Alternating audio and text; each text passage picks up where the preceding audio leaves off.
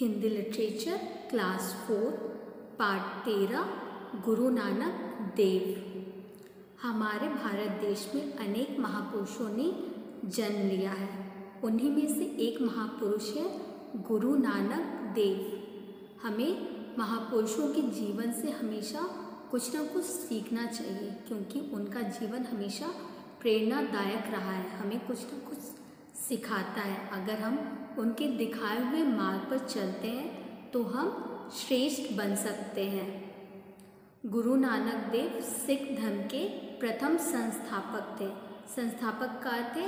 उस उस संस्था की स्थापना करने वाला। सिख सिख धर्म की स्थापना गुरु नानक देव ने की थी। तो चलिए हम उनके बारे में पढ़ते हैं। पाठ तेरह, गुरु नानक देव। हमारे देश भारत जग प्रसिद्ध है। यहाँ अनेक संत और महात्मा हुए हैं, जिन्होंने हमें सच्चाई के मार्ग पर चलना सिखाया। साथ ही साथ इन्होंने त्याग, तपस्या, परोपकार और अन्य मानवीय गुणों का विलक्षण परिचय दिया। हमें क्या क्या सिखाया इन महापुरुषों ने? त्याग, तपस्या, परोपकार और अन्य मानवीय गुणों, यानी मानव के अंदर जितने भी गुण हैं, उनका अनोखा परिचय दिया। विलक्षण का अर्थ होता है अनोखा। ऐसे ही एक महात्मा सिख धर्म के संस्थापक गुरु नानक देव जी हैं। क्या है? उनमें से एक है संस्थापक गुरु नानक देव जी। गुरु नानक देव जी का जन्म पंजाब गुरु नानक देव जी का जन्म पंजाब प्रांत के तलवंडी नामक स्थान पर सन 1469 में हुआ था। आजकल यह स्थान नाना काना साहब के नाम से जाना जाता है, जो पाकिस्तान में स्थित है। गुरु नानक के पिता का नाम कालू चंद और माता का नाम तृप्ता देवी था। बालक नानक के जन्म के समय वह स्थान जहाँ उनका जन्म हुआ था, अलौकिक ज्योति से भर उठा। अलौकिक मतलब अद्भुत अद्भुत प्रकाश से वो भर उठा। कहा जाता है कि जन्म लेते समय नानक रोए नहीं बल्कि उनके चेहरे पर एक सौम्य मुस्कान फैली थी, सौम्य मतलब प्यारी सी, हल्की सी मुस्कान फैली थी। माता पिता पुत्र के जन्म से अत्यंत आनंदित थे, अत्यंत मतलब बहुत और आनंदित खुश, बहुत खुश थे। उन्होंने इस अवसर पर गरीबों को भरपेट भोजन कराया, कपड़े वितरित किए और घर में कई दिनों तक पूजा पाठ चलता रहा। वितरित का अर्थ है, बांटना कपड़े की, बहुत सारे कपड़े बांटे गरीबों को और कई दिनों तक पूजा पाठ चलता रहा। नानक के पिता को ज्योतिषी ने बताया कि यह बालक बड़ा भाग्यवान है। ज्योतिषी का अर्थ होता है, ग्रह नक्ष नक्षत्र इत्यादि को जानने वाला। और एक दिन जनता के हृदय पर राज करेगा। ज्योतिषी ने क्या बताया कि ये बालक बहुत ही भाग्यवान, बहुत ही भाग्यशाली और जनता के दिन, दिलों में मतलब जनता लोगों के दिलों में ये राज करेगा। हर धर्म के लोग इसका सम्मान करेंगे। नानक जब सात वर्ष के हुए तो इन्हें पढ़ाई के लिए विद्यालय भेजा गया। परंतु पढ़ने में उनका मन नहीं लगता था। वो सात वर्ष के हुए तो उनको पढ़ने के लिए स्कूल भेजा गया, लेकिन उनका पढ़ाई में मन नहीं लगता था। शिक्षक द्वारा पढ़ाया गया पाठ उन्हें नीरस और व्यर्थ लगता था। जो भी उसे टीचर्स पढ़ाते थे उसे नीरस मतलब बिना ध्यान के, बिना कुछ मन के और बेकार लगता था। अतः पिता ने उन्हें पशु को चराने का काम सौंप दिया। पिता ने उन्हें पशु को चराने का, पशु को मतलब घास वास खिलाने ले जाते। आपने देखा होगा कि बहुत लोग गाय वगैरह को ले जाते हैं वैसे ही काम उनको दे दिया। दूसरे दिन वे पशुओं को चराने के लिए ले जाने लगे।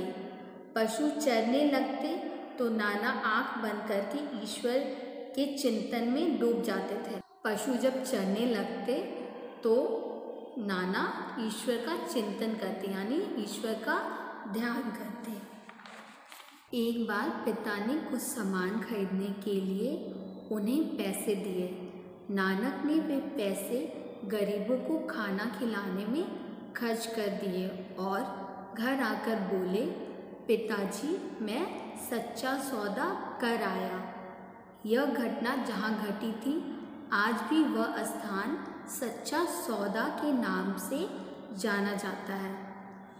कहा जाता है कि नानक देव एक बार मक्का गए, जो मुसलमानों का प्रसिद्ध तीर्थ स्थान है। तीर्थ स्थान मतलब पवित्र स्थान। मक्का, मदीना के बारे में आपने सुना होगा, जहाँ पर मुसलमान अपना तीर्थ स्थान के लिए जाते हैं। वहाँ वे काबा की तरफ़ पैर कर कर सो गए। काबा का अर्थ होता है अरब देश के मक्का नगर में स्थित मस्जिद। वो एक मस्जिद की तरफ़ पैर कर कर सो गए। हज करने आने वाला कोई भी यात्री काबा की तरफ़ पैर कर कर नहीं सोता था। हज का अर्थ होता है काबा की यात्रा। एक मुल्ला वहाँ आया और बोला, तुम कैसे आदमी हो? हज करने आए हो और यह भी पता नहीं कि खुदा के घर की तरफ़ पैर करके नहीं सोना चाहिए।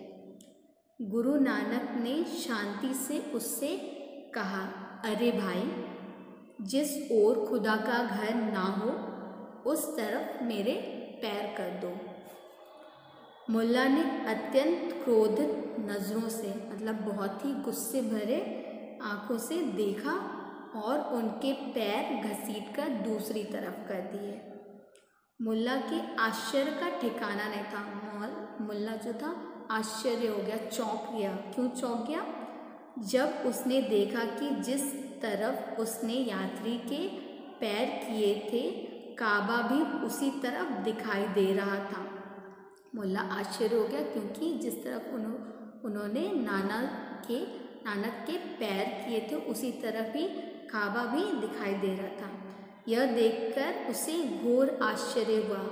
तो मुल्ला को बहुत आश्चर्य हुआ। वह समझ गया कि यह कोई पहुँचा हुआ फकीर है। उसने उससे क्षमा मांगी।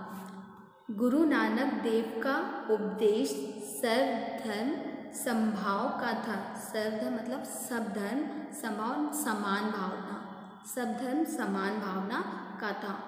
वे लोगों से अपने विचारों का प्रचार करते हुए कहते थे, पूरे सॉरी पूरा संसार एक ही ईश्वर द्वारा रचित है, यानी पूरा संसार एक ही ईश्वर द्वारा बनाया हुआ है। और सभी मनुष्यों को उसी ईश्वर ने रचा और उसी एक ईश्वर ने सभी मनुष्यों को रचा है। वर्ण, जाति आदि के भेद मनुष्यों ने बनाए। वर्ण मतलब रंग। रंग, जाति, भेदभाव किसने किए? मनुष्यों ने बनाए। ईश्वर ने सबको एक ही बनाया था, लेकिन मनुष्य ने रंग, भेदभाव से सबको अलग कर दिया। ईश्वर निराकार है। ईश्वर निराकार है मतलब बिना आकार वाला है। ईश्वर को किसी ने देखा नहीं है ना? तो ईश्वर बिना आकार वाला है। वह प्रत्येक जीव में और प्रत्येक जगह है। हमें पवित्रता और संयम से रहना चाहिए तथा उनका ध्यान करना चाहिए। हमें पवित्रता मतलब अच्छे मन से रहना चाहिए और संयम संयम से रहना चाहिए। हमें परिश्रम करना चाहिए और परिश्रम की कमाई खानी चाहिए। हमें हमेशा जो हम परिश्रम करते हैं, उसी की कमाई खानी चाहिए। गुरु नानक के उपदेश गुरु ग्रंथ साहब में संग्रहित है। गुरु ग्रंथ में सारे आपको गुरु नानक के जितने उपदेश हैं, वो सारे उपदेश मिलेंगे। जो सिख धर्म का प्रमुख धर्म ग्रंथ है, जो वो सिख धर्म का पवित्र धर्म ग्रंथ है। सत्तर वर्ष की अवस्था में सन 1539 ई में इनकी मृत्यु हुई। जीवन मूल, महापुरुषों का जीवन हमें प्रेरणा देता है। जितने भी महापुरुष हैं, उनका जीवन हमें प्रेरणा देता है। हमें उनके जीवन से कुछ ना कुछ सदैव सीखना चाहिए।